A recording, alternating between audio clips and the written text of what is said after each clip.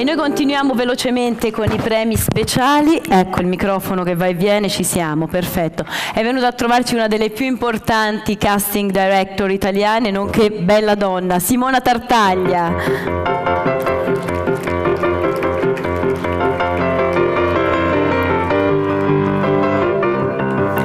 Ecco, la Simona ha curato i casting fin dall'85, numerosi film, pubblicità, fiction e hai avuto la possibilità di scegliere e provinare tantissimi attori. Chi è passato da te? Che consigli hai dato? Tantissimi. Eccolo. Eccoci.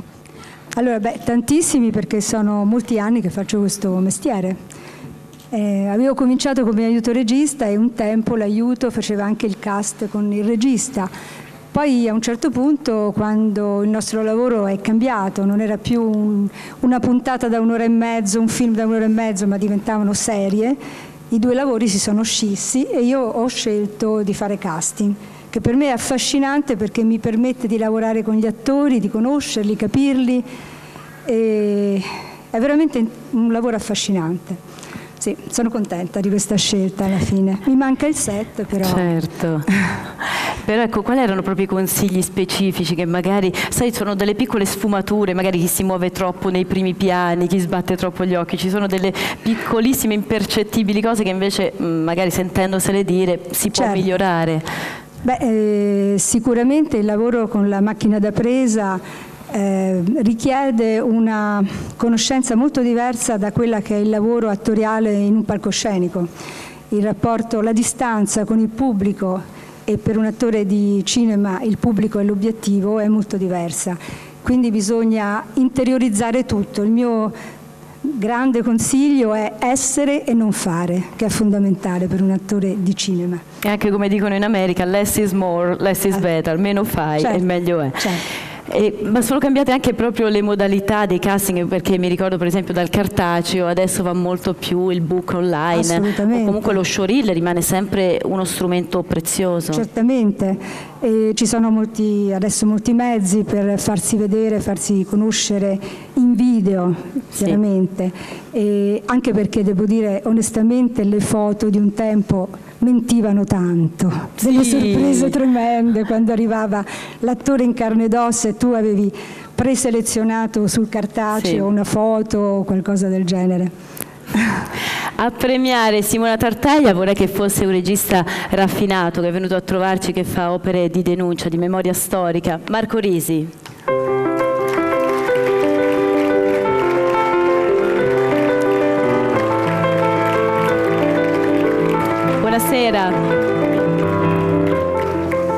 Eccola la consegna. È tutta una sorpresa. Una battuta anche da lei, magari per ricordare. No, io non sapevo niente di questa cosa, mi hai colto di sorpresa, però sono ben contento di premiare la bravissima Simona che ha detto delle cose giuste, le più giuste sentite fino a questo momento su questo palcoscenico, quindi complimenti.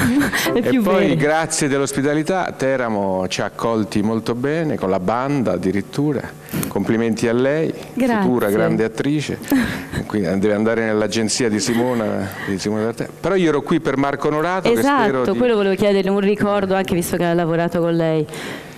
Eh sì, abbiamo fatto gli ultimi miei quattro film e l'ultimo film insieme.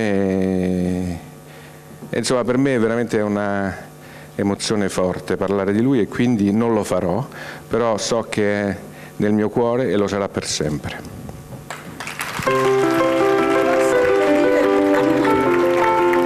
Grazie, grazie Simona Tartaglia, grazie a Marco Risi.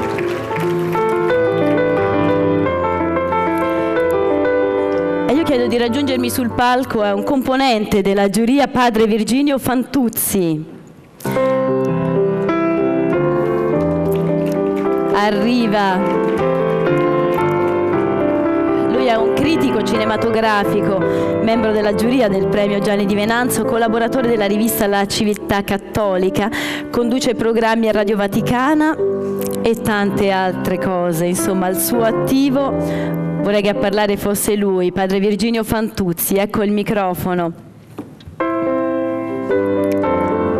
Intanto cosa ne pensa di questo premio che è unico nel suo genere dedicato agli autori della fotografia nel cinema? Credo che la fotografia nel cinema sia la cosa più importante che c'è e quando è bella la fotografia vuol dire che il film è bello. C'è un suo film d'elezione, un suo film preferito che magari ehm, come dire, contiene anche degli insegnamenti morali? Beh, otto e mezzo. Racchiude tutto.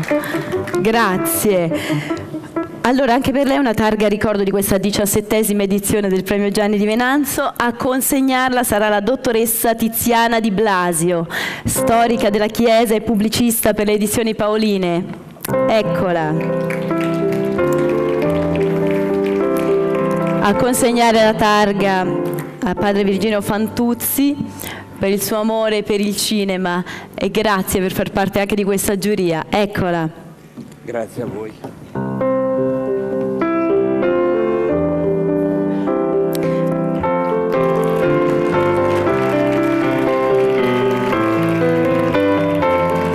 Grazie davvero, grazie.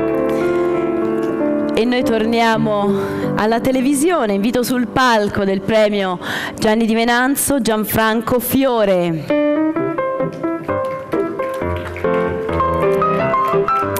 Ora capiremo con lui qualcosa in più perché insomma è una mente vulcanica e ce ne darà prova poi più tardi. Eh. Ma eh, per i suoi cittadini è Fiore Donati, che significa? Che ci rappresenta? Ci racconti? Io per, per che cosa racconto ai miei concittadini? No, Fiore Donati. Ah, il cognome. È il cognome. Sì. Mi dicevano che c'era un aneddoto particolare, il nostro regista Non ne so sa qualcosa in in più. giro l'aneddoto particolare. Comunque, vabbè, lei è figlio di, Ah, ecco, eh, ecco, non di aneddoto, No, diciamo. questo no, questa è, è la realtà e anzi ci fa onore, comandante partigiano di giustizia e libertà Adelchi, invece ha una bella eredità che si porta. Veniamo ecco, più a favore, tra i fotografi impazziscono. Come sempre quando fai un palcoscenico. Mi dica. Vediamo le immagini. Vediamo le immagini. Vediamo le immagini.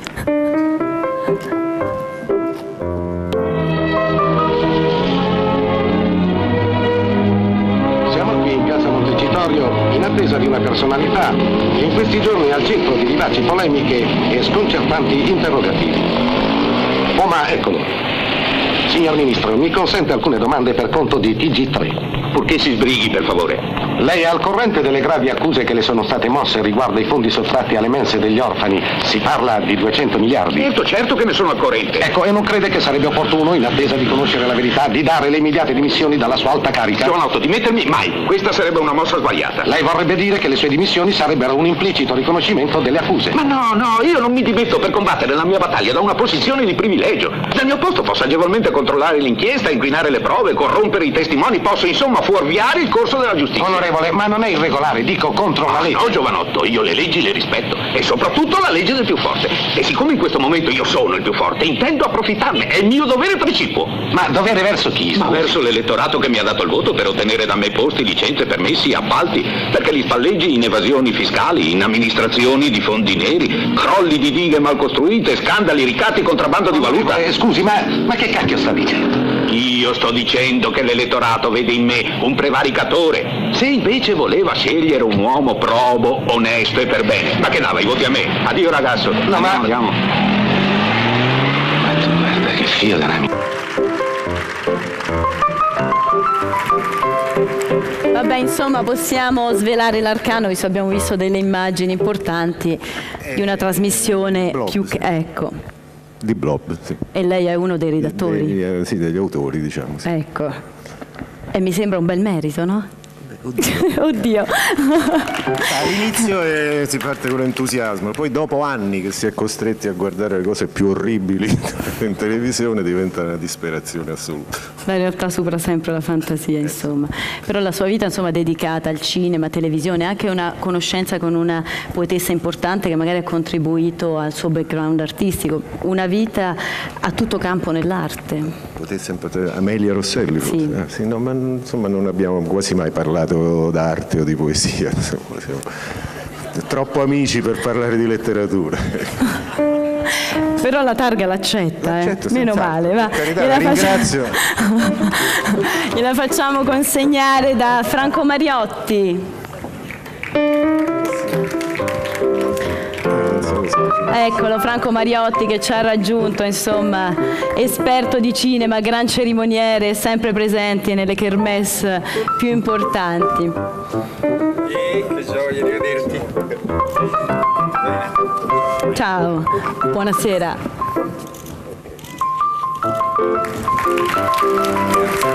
Grazie, grazie ancora a Gianfranco Fiore. Ebbene, l'organizzazione del premio Gianni di Venanzo in memoria del grande doppiatore Renato Izzo ogni anno va ad assegnare un riconoscimento ad un importante doppiatore italiano. Quest'anno la scelta è caduta sul grande attore doppiatore Marco Guadagno.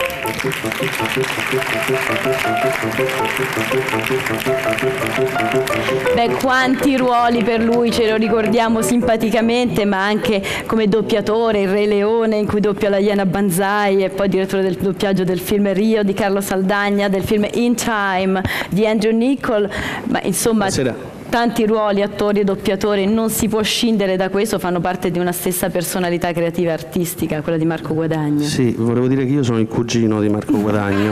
No, ti abbiamo riconosciuto. No, perché venivano tutti fratelli, padri, figli. allora- Sei l'originale, pronto, impronte Sì, non lo so, non lo digitali. so. Eh, Dalla devo- voce che si direbbe dire? di sì. No, mi, mi ha dato Manuela Morabito prima un San Pietrino eh, fingendolo per una caramella, ce l'ho tutto incastrato qui e un premio al doppiaggio, non riesco a parlare, è difficilissimo. Vabbè, proviamoci. Eh, dicevi?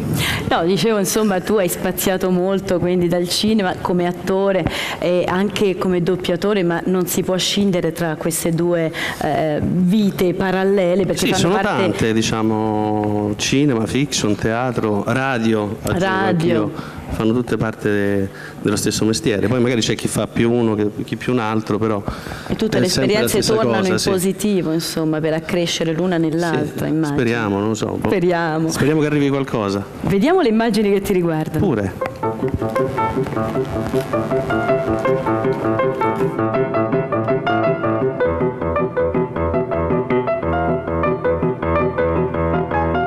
Scusi, ma mi dice dove viene questa macchina? Perché?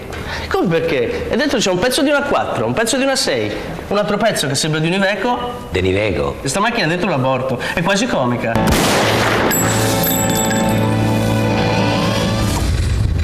Tu a me non mi freghi. Nino, mandami a tacchiere.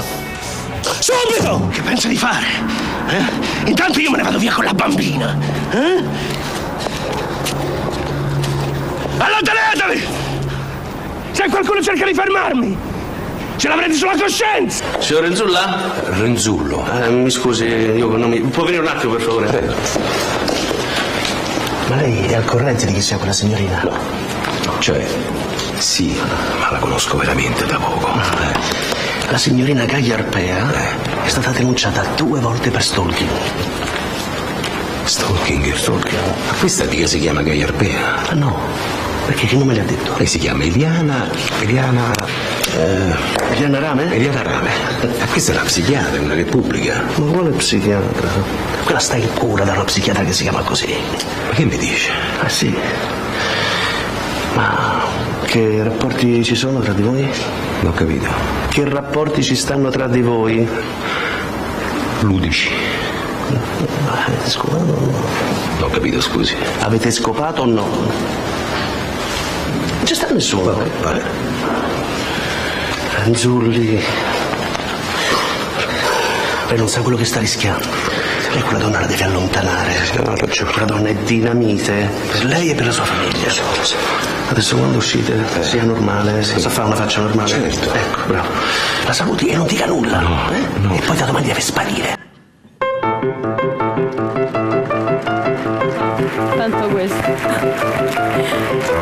Insomma, abbiamo capito no, quanta arte c'è nella recitazione di Marco Guadagno. Tra- Insomma, non era facile anche stare a contatto con Carlo Verdone, vedere tutte le sue espressioni. No, ma diciamo che è nata un'amicizia, allora lui spesso mi chiama e giochiamo insieme, dire. poi devo dire è un, è un maestro.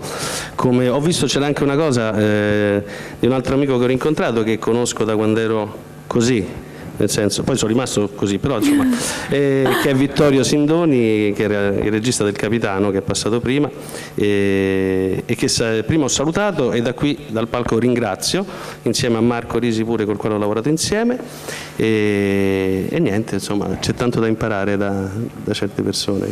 Ecco, tu hai conosciuto anche Renato Izzo, che cosa provi nel ricevere un premio intitolato proprio? Eh, qui c'è un po' di emozione e eh, Marco ha taciuto, io provo a dire qualcosa. Eh, è stato un mio maestro insieme a Federnaud e Mario Maldesi.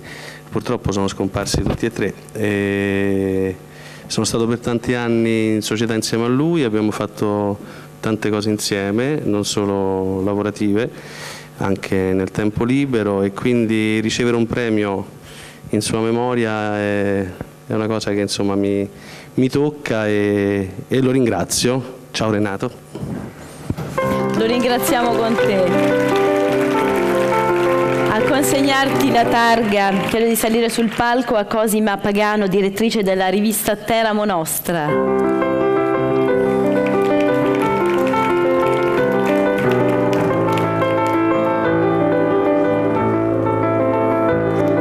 Grazie, grazie. Eccola, la consegna a Marco Guadagno, attore doppiatore che riceve il premio intitolato a Renato Izzo per questa diciassettesima edizione del premio Gianni di Venanzo. Ciao, a dopo. Grazie. per il vestito. e andiamo avanti da un punto all'altro perché in primavera dovete sapere si è svolto a Teramo un concorso di video, danza organizzato dall'associazione Electra Creative Arts diretta da Eleonora Coccagna, un progetto che si chiama 012 Video in Cantiere, ha visto lavorare insieme sei coreografi e sei videomakers. Ne sono nate così delle opere filmiche molto interessanti, perciò gli organizzatori del premio non si sono fatti sfuggire questa occasione. E hanno creduto bene di dare un riconoscimento all'opera che ha vinto il concorso. E chiamo sul palco, l'abbiamo già visto su questo palco, Paolo Sorgi, vincitore del concorso.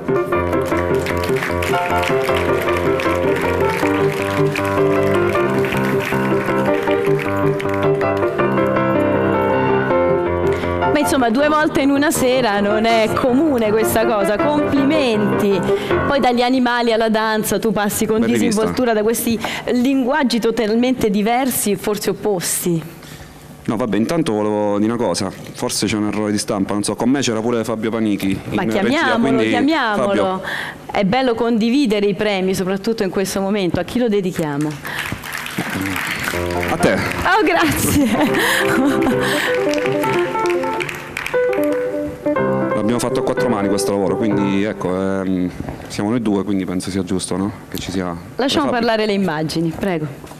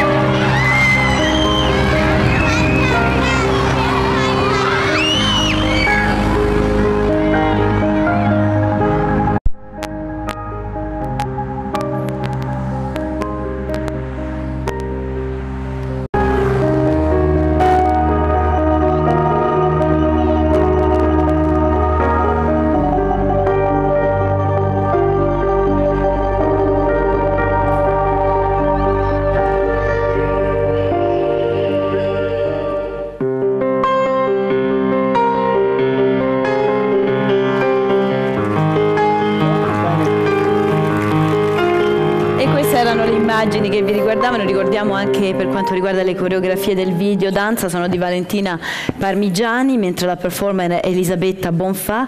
Vorrei per la consegna della targa il regista, nonché professore associato di storia del teatro e dello spettacolo, il dottor Luciano Paesani. Eccolo dalla prima fila, non è difficile raggiungerci per premiare questi giovani intraprendenti che già si vanno ad aggiudicare il secondo premio in questa serata, in questa diciassettesima edizione.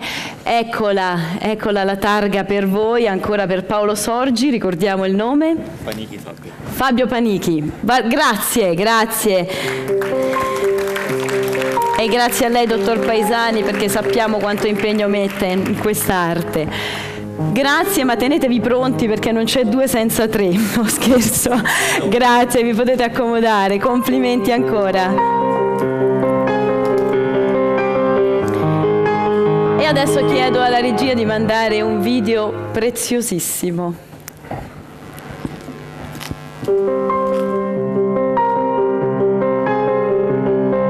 Forse l'amore è un covo di assassini.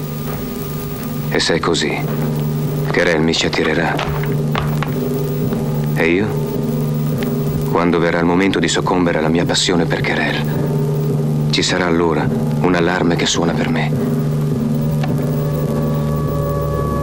Desideriamo che vi risulti chiaro, come il marinaio Kerel, nato da quella stessa solitudine in cui l'ufficiale rimaneva recluso, fosse un personaggio paragonabile all'angelo dell'Apocalisse, i cui piedi posano sulle acque. Quanto desidererei che Kerel si rivelasse una grossa canaglia sotto il suo regale sembiante. E poi buttarmi ai suoi piedi e baciarglieli.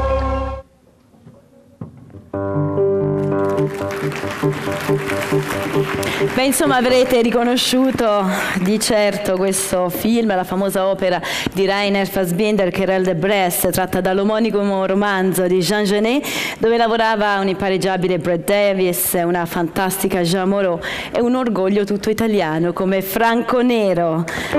Accogliamolo sul palco. Franco Nero è con noi alla diciassettesima edizione del premio Gianni di Venanzo, eccolo.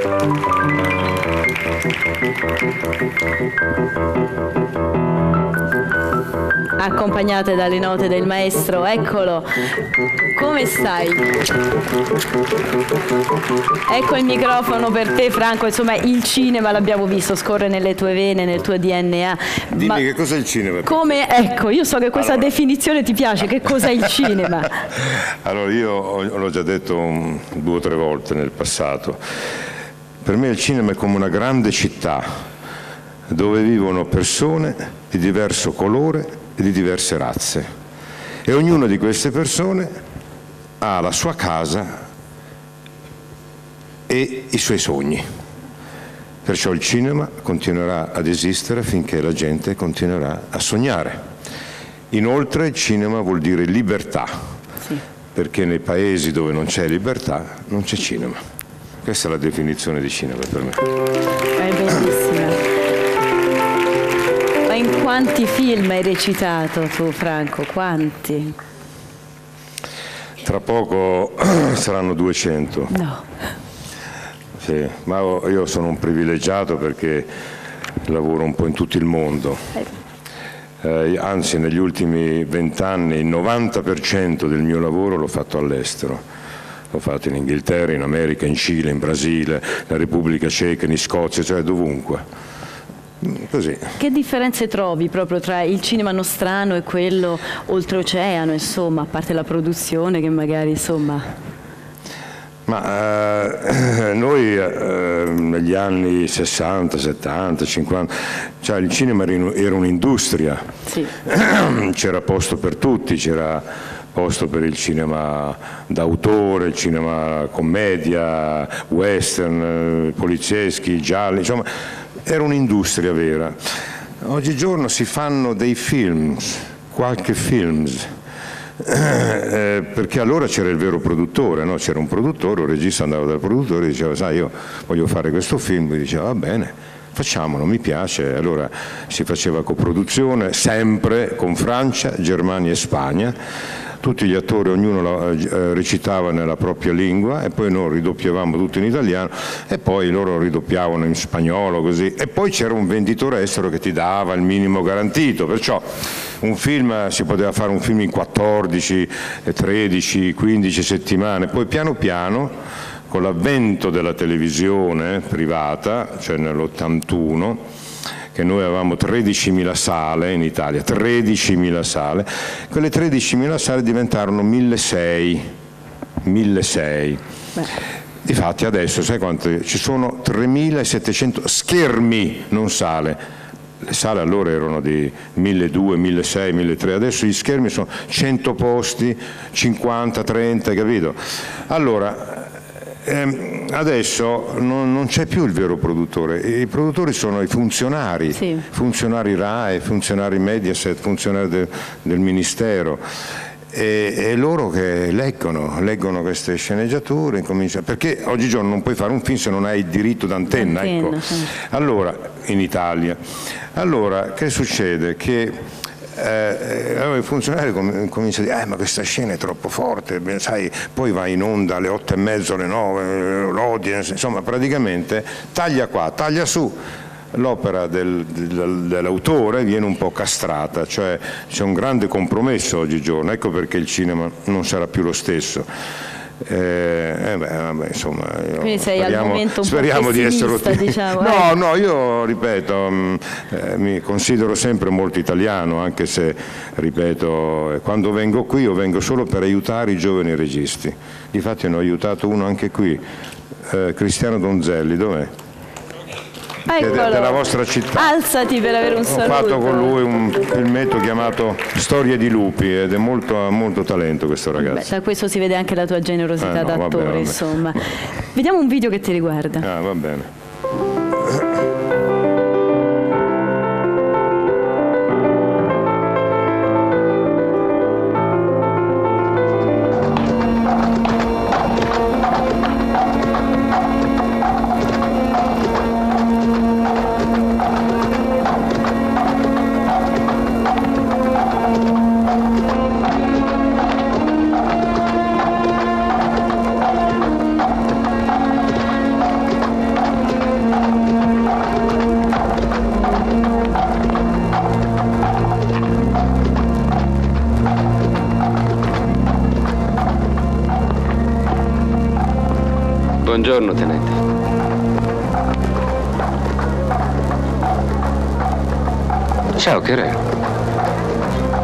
Che stai facendo proprio un ottimo lavoro. Senza che io ti dicessi niente, ti sei offerto di fare la corvée. Chi ti ha ordinato di spalare il carbone? Nessuno, tenente. Non trovi che lavorare per me è più gradevole? Certo, tenente, molto di più. Ma oggi mi sono offerto volontario per sostituire un compagno. Potevano trovare qualcun altro. Guarda come ti sei conciato. Trovi davvero che è tanto piacevole ingoiare polvere? No, tenente. Ma... Sì? Che volevi dire? Niente.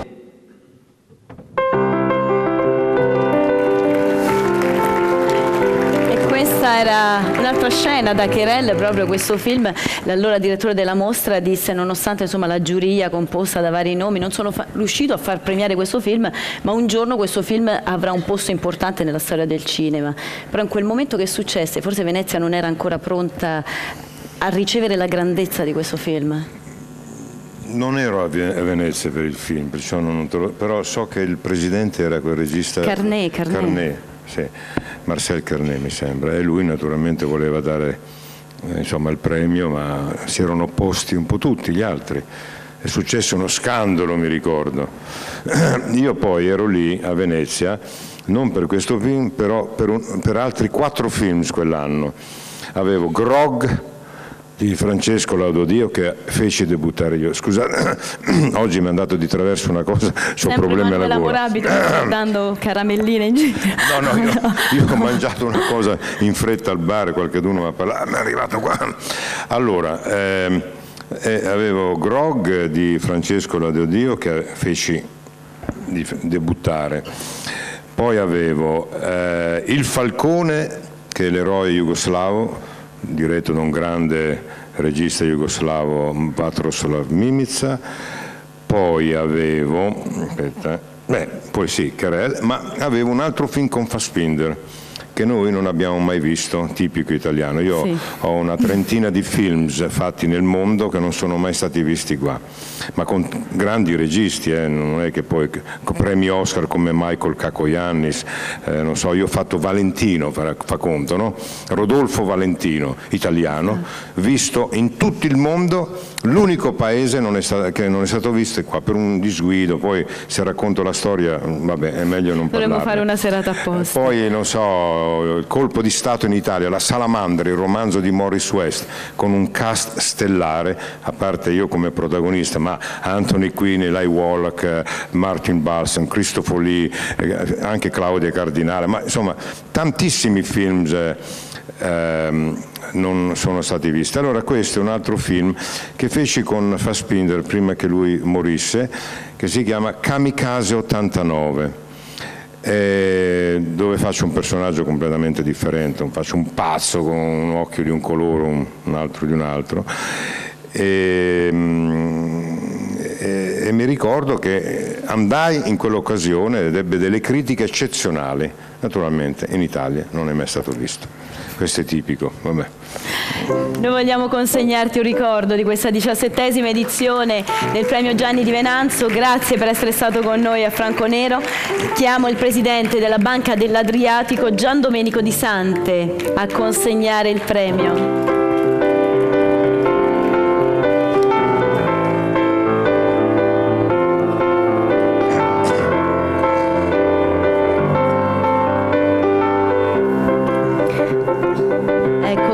Sale il presidente della Banca dell'Adriatico, Gian Domenico Di Sante, per consegnare questa targa, questo ricordo a Franco Nero. Grazie, grazie. Buonasera. Un orgoglio nostro italiano. Aspetta, diamo il microfono. Facciamo così?